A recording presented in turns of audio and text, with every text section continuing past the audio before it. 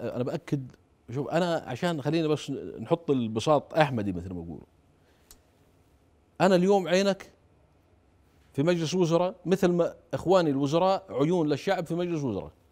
إحنا كلنا قاعدين نمثل المجتمع الأردني صح؟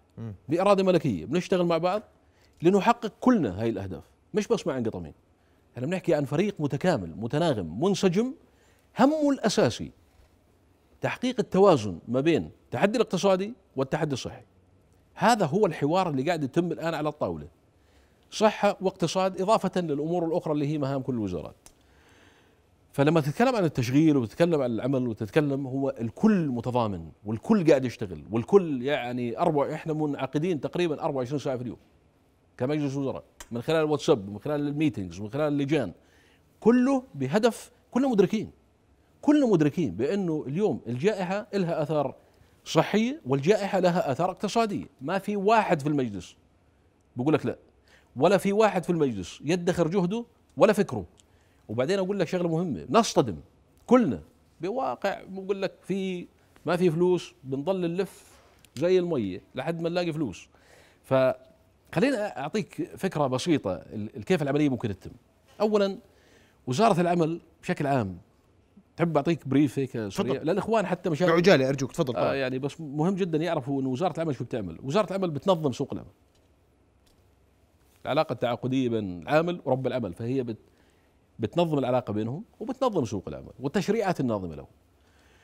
آه أيضا بتحاول تعمل مبادرات تشغيل فهذا جزء ثاني. بس هي مش المسؤول عن التشغيل لأن الاقتصاد الأردني مسؤول عن التشغيل.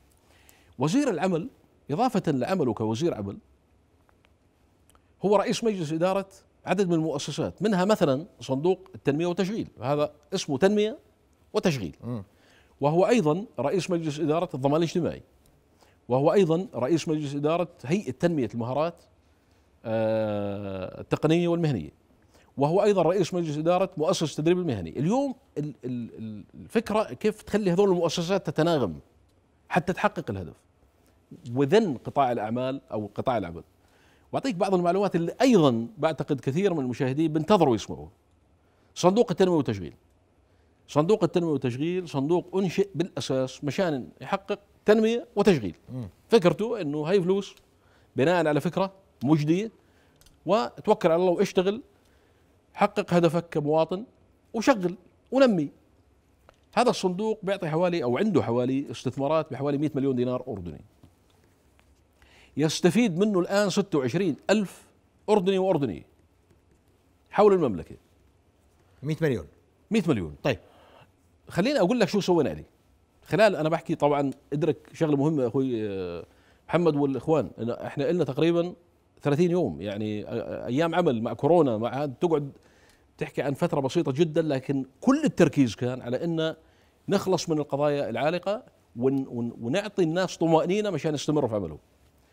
اولا تم إعداد خطة متكاملة لمقترضي صندوق التنمية والتشغيل وتم رفعها لمجلس الوزراء وراح تسمعوا بإذن الله تعالى أخبار طيبة جدا قريبا جدا تمام؟ إيش الأخبار؟ هو الأخبار الطيبة؟ اولا إعادة الجدولة لل 26 ألف.